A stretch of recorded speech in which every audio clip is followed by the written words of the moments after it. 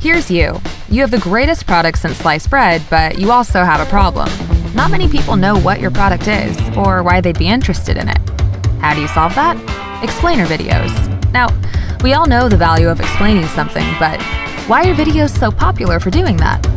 Well, there are many reasons video is great for explaining things, but one of the best is voiceover.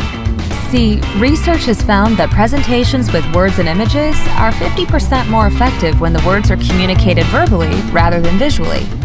What explains this? The dual channel hypothesis, which says that the brain receives information through two channels our eyes and our ears. Why is this important? Well, each channel has a limited capacity for comprehension, meaning too much information coming into one channel can cause an overload, interfering with comprehension. But what if some of that information was directed instead to the other, unused channel? You no longer have information overload, meaning better comprehension of your product. Now you're thinking, that's really cool, but what does it have to do with explainer videos? Well, the thing with people these days is that they get bored quickly, which is a real bummer because there are a lot of amazing things you want to explain to them about your product. So, the more information you can communicate to them in a short amount of time, the better. And this is where voiceover comes in.